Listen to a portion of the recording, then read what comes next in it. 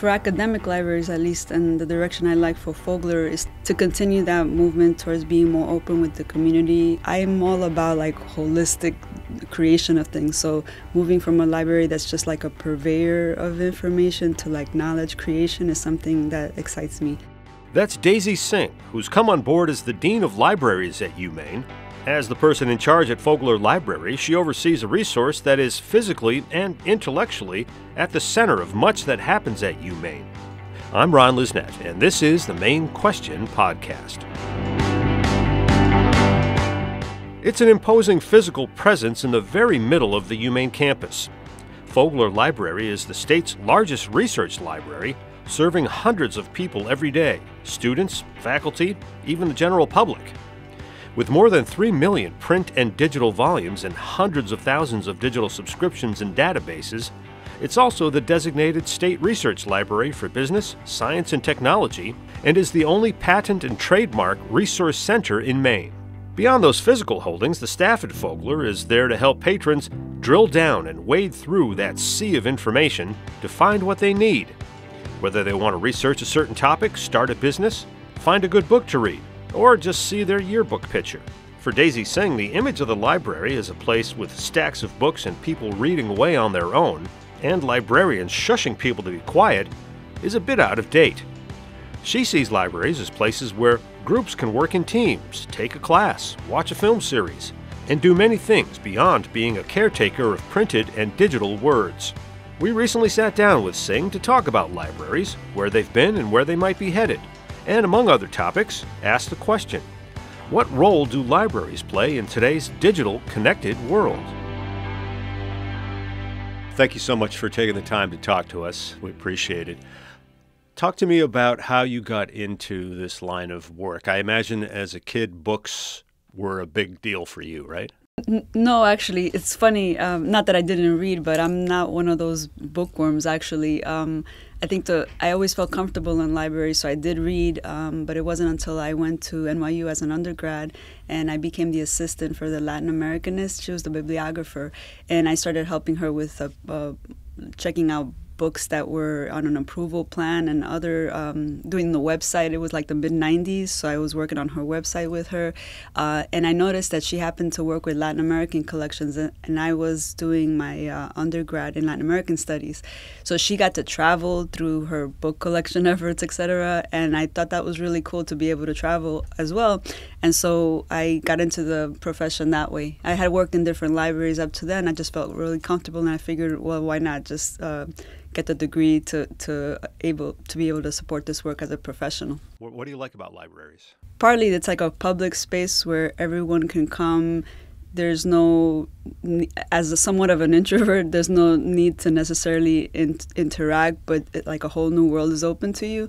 Uh, and the, the materials that i tended to uh, do research on was more like audiovisual materials. So it's funny because whenever you think of libraries people automatically think of books but in my case it's a little bit different.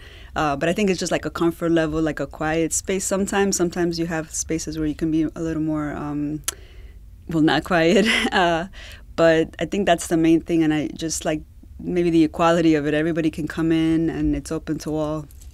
So many of us grew up with libraries, and, and we think of them as, as sort of as you what you alluded to, which is stacks of books, tables with people sitting reading quietly. Um, you can't make too much noise, but uh, perception versus reality. What what uh, what is kept from that you know uh, history that we think about, and how are libraries basically different now in the 21st century? I mean, there's still that element where people want to be in a quiet space a lot of times to study.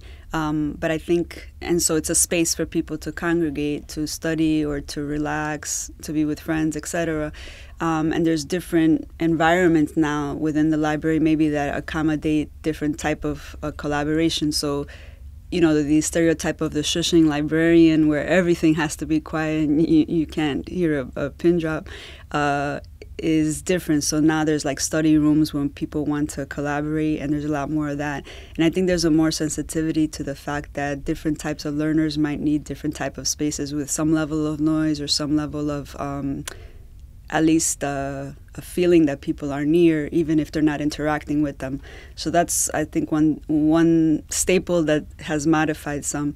And I would say that uh, libraries in general are, I think, being more open.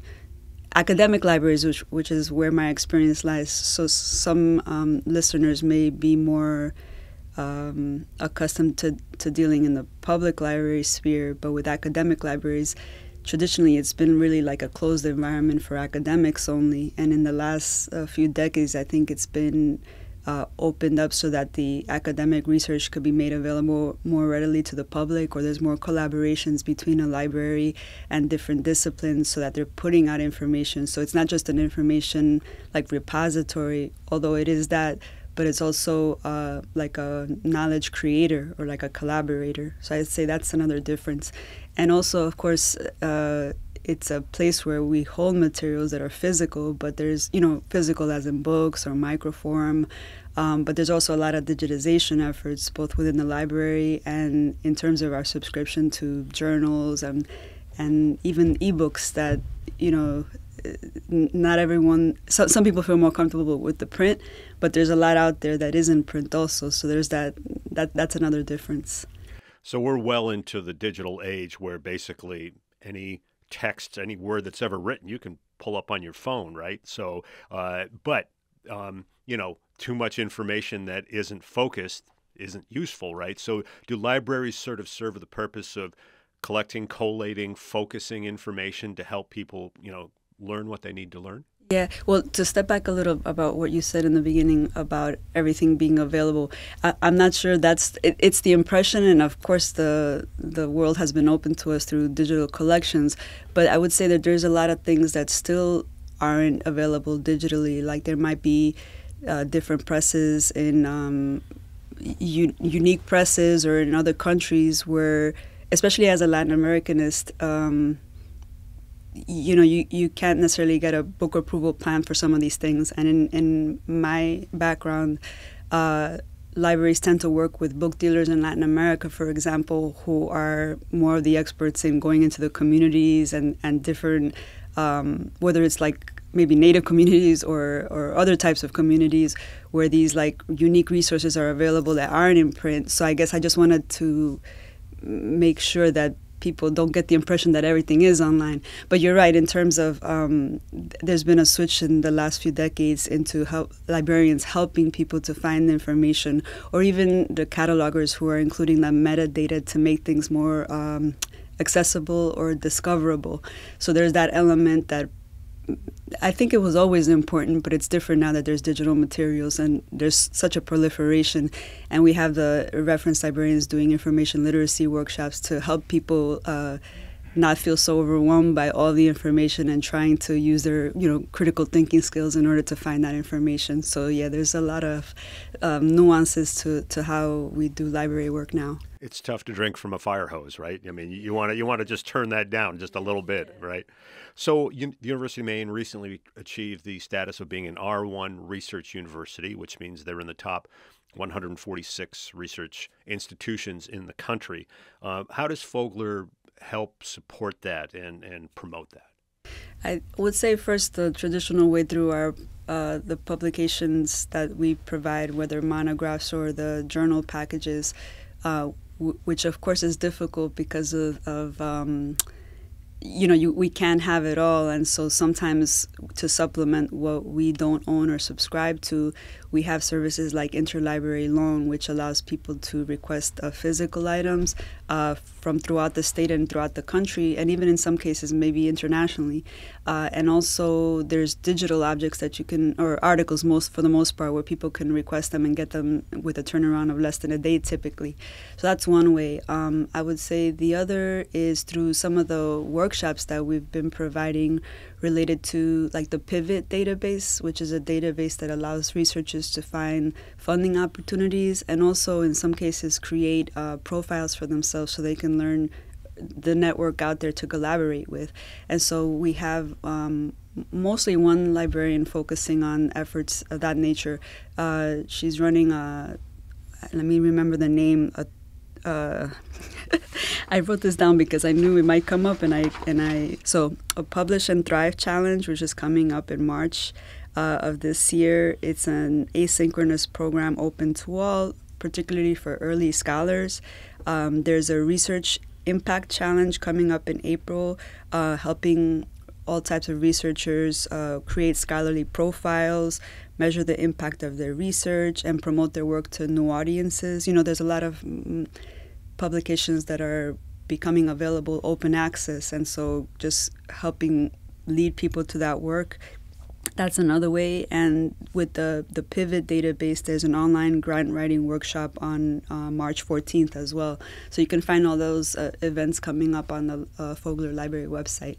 So if you walk through the stacks or the different floors in Fogler Library, you'll see a lot of students in their cubicle or at a table sort of studying on their own. But like you alluded to, there people are using libraries in a lot of different ways. You also see teams of students working together, or uh, you know groups sort of interacting with each other. Can you talk about a little bit more about the different ways people are using libraries? Uh, just there's a lot more ways to get your work done there, right? Yeah, yeah. I mean, there's different levels in in Fogler, of course, and some are more for quiet study. There's like different I, I, call them like the bunk beds, but they're bunk cubicles, I guess. I, I know if, if I was a student here, that's where I would go because I'd feel a little comforted by the height of the ceiling and a little protected.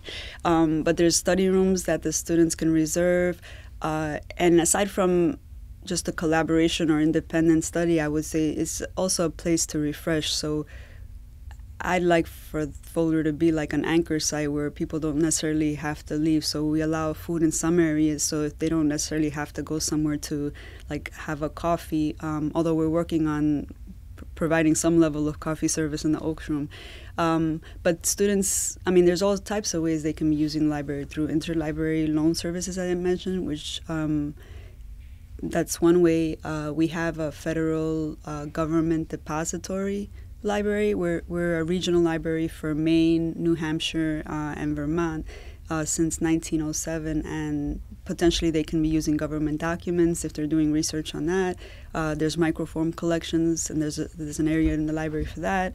Um, trying to think. Special collections is another thing especially if their classes are, are making use of primary resources and they can use, make a use of that. I mean we have the digital commons that stores some of that material also or archives some of that material but um, they can also visit the, the special collection staff because one thing i want to know as i said earlier that not everything is online. So if you find the list of materials through digital commons that you're interested in uh, there might be more that hasn't been digitized yet. So it's always good to check with either a reference librarian or special collections, or an archivist or librarian, depending on what your need is. Yeah, I want to ask you about special collections in a minute because I know there's some pretty pretty cool stuff in there. But, but back to what you just said, reference librarians. What do they do? How can people uh, best leverage their expertise?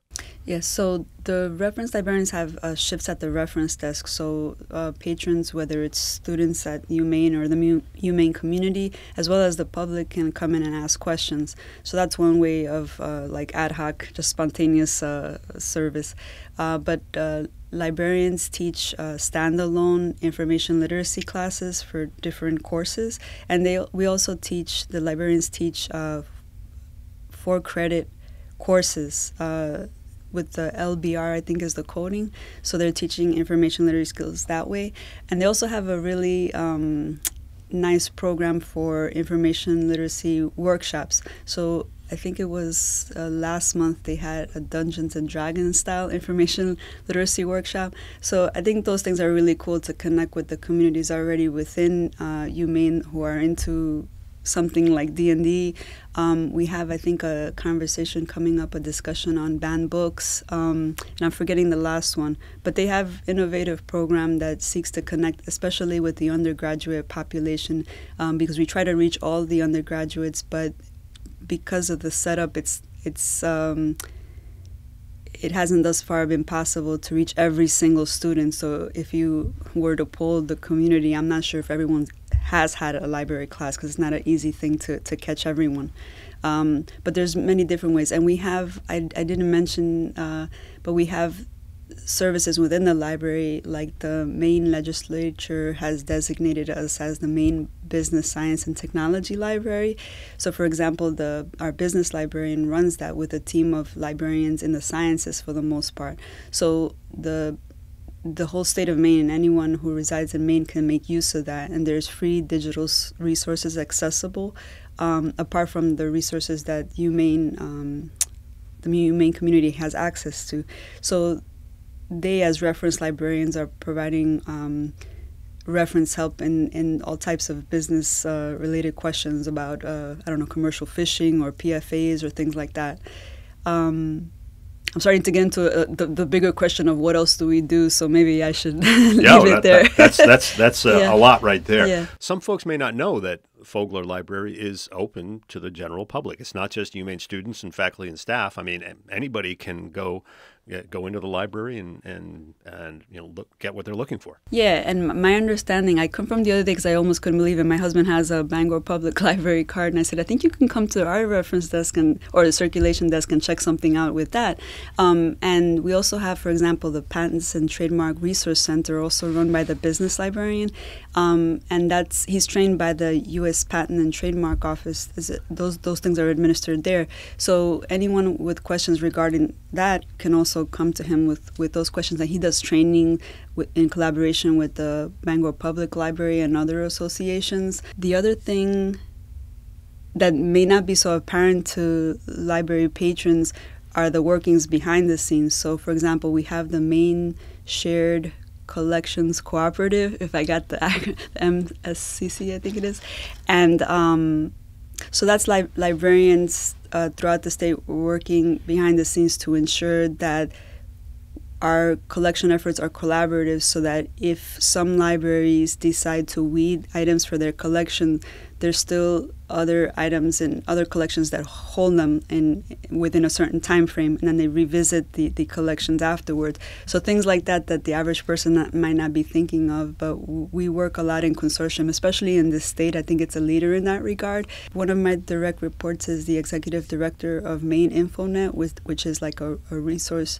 um, consortium so it's like a very big culture of, of sharing resources and um, talking about collections and how best to meet the needs of various, um, you know, the residents of Maine as well as the UMaine community. So let's talk a, a couple statistics. Uh, uh, Fogler's often described as the largest library in the state. Do you have any idea how many people you serve on an annual basis? How many holdings are there, both digitally and, and physical? And any any uh, any numbers you could uh, you could throw at us? Well, you know, I I I didn't I don't remember the the annual, but I know that on a daily daily counts because the circulation staff does daily counts. There's probably an average of about 200 people at the height of the day within the library, uh, and it fluctuates between the early morning and the late evening. Um, in terms of the collection counts, there's uh, we have 1.5 uh, million titles within the collection, uh, like physical titles, but that includes also federal depository items, not just like regular books. And we also have uh, 1.5 million ebooks. We also have over 160,000 um, uh, e journals, so electronic journals, and uh, over 300 uh, databases. Wow. Now you talked about the Business Science and Tech Services and the and the Patent and Trademark Resource Center. Those can be used by people that are trying to start businesses, grow businesses. I mean, that just talk about how people can access that expertise and, and those resources to uh, to help promote Maine's economy. Yeah, I think that for the Patent and Trademark Resource Center, the business librarian fields questions from all types of people interested in those. And there's certain information that he can provide. He's not a lawyer, for example, right? But there's some guidance that he can provide, and he's trained for it. And I would say with the Maine business, and, and also I should say that he he does presentations. So if you are, I think one of them is called SCORE, and I'm going to forget the the. There's a lot of acronyms in this yes, space. there is. Every ever since I came to Maine, there's uh, we're acronym happy. But um, so SCORE is one. Um, organization that he collaborates with. But if anyone listening is part of another association, they might get in touch with him, John Hutchinson, in order to potentially provide a presentation and that way reach like a lot of people at once. But they can also uh, get in touch with him personally. And with the Maine Business Science and Technology Library, he leads it, but there's a team of, of librarians mostly in the sciences, so they collaborate. There's questions that he can answer on the business end, and then if he gets a little more detail into research, he hands it over to them. So it's a nice team. Yeah. So you, have mentioned a couple times digital commons. Uh, let's make sure people know what what is that and how can people use it. So, Digital Commons is our institutional repository. I would say most academic institutions have one now. So, the material uh, that we have in special collections, for the most part, uh, is digitized and and is uh, archived there. So we have, uh, for example, the theses and dissertations that come out of UMaine will be there, um, but we have special items like there's a Maine music box. Let me remember what the I keep a, Maine music box collection. So there's mostly scores, but there's other material in there, including like a small number of MP3 like files uh, related to those collections. Um, there's a Maine uh, postcard collection from the early 20th century, for example. Um, when I visited uh, the special collections, the the archivist, uh, I they they pointed out to me that during the Vietnam War there was a blood drive, and that there was a maybe like a 15 minute clip of of people being interviewed with respect to that. So something like that is there, and it's pretty cool to listen to. Um, and yeah, things tend to get, in some cases, uh, digitized by request, but there's other efforts with different um, staffers at the library that are putting whole collections on there as well. So there's uh, for people that are alumni of the University of Maine. That's the other thing is all the yearbooks are there, so you can you can look up your your picture from when you were in school, or your parents, your grandparents, whatever you'd like, right? Yeah, and you know, um, I recently visited the annex because we have an annex site on the on for Fogler on the campus, and I was really impressed because they showed me a physical copy of Prism from I think it was 1963, and when they showed the pictures, there was some kind of ball, and Duke Ellington was there, and I've heard that Bob Dylan was also here. So it's one of those things that I didn't expect. Um, so whether you find it digitally or with the physical item, it's pretty cool. Special collections, you've referenced that a couple of times. What, what are the most interesting and popular items that are held there? What, there's some unique things there.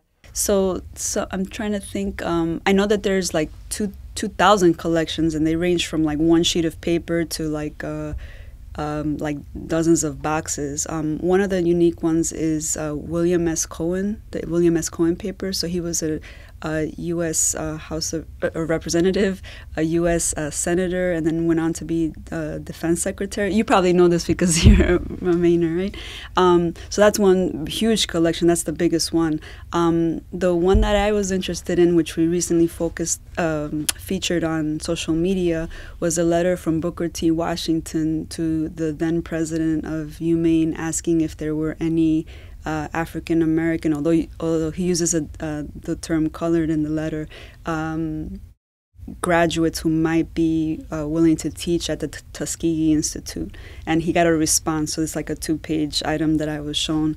Um, other interesting things are there. there's a, I believe, a Hispanic Society Sigma Delta Pi. Don't don't quote me on the on the name, but apparently there's an institution in South Carolina, I believe, that needed a few copies, and we had them, and we were able to ship them um, for their use. So things like that that. Um, that have interested me, and, and there's actually a, a, staff pick section on Fogler, so you'll see some of the archivists and other uh, special collection staff have picked out items as well. Wow, that's great. So, how, how do you see libraries evolving and changing in the coming decade? What other new areas, services might be uh, offered that are particularly exciting to you? Where, where, where's all this going? Yeah. So for academic libraries, at least, and the direction I like for Fogler is to be to continue that movement towards being more open with the community. Invite since we are open to to everyone, uh, so that people don't have the feeling that we're just academic and we're not here for them. So ideally, I'd like to create a, an open scholarship and digital scholarship section or unit in the library uh, in order to promote the open access publishing efforts within UMaine and also to promote more collaborative efforts with different faculty doing digital projects on different platforms, like to showcase uh, primary resource materials that we have in the library that they're using for classes or any like text mining projects things that, that i don't have an expertise on but i like the idea of a holistic library where there's a collaboration between the faculty uh, the librarians, the archivists, the the other staff, because there's a lot of staff in the library who really do great work,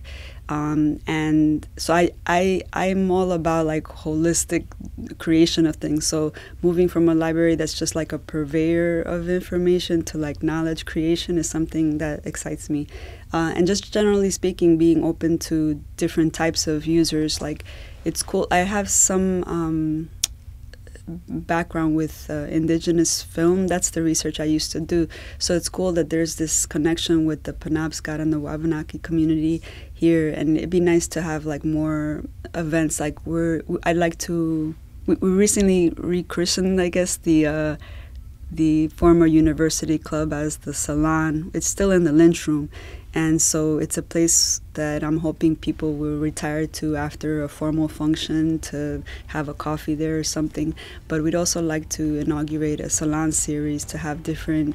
Um, maybe luminaries or so whoever we can get. You know, there's a, there's a limited budget also, but someone we can get that has uh, interesting conversations. So just to bring the community in more, involve them, um, and will always be an academic library, but there's a way to be an academic that's still open to others. So, right. Yeah. Well, thank you so much for uh, sharing sharing your thoughts with yeah. us. Appreciate it. Thanks so much, Ron. Thanks as always for checking us out. You can find all our episodes on Apple and Google Podcasts, Spotify, Stitcher, and SoundCloud, UMaine's YouTube, Twitter, and Facebook pages, as well as Amazon and Audible. Send us a note with a question or comment if you have any Maine question at maine.edu. This is Ron Lisnet. We'll catch you next time on The Maine Question.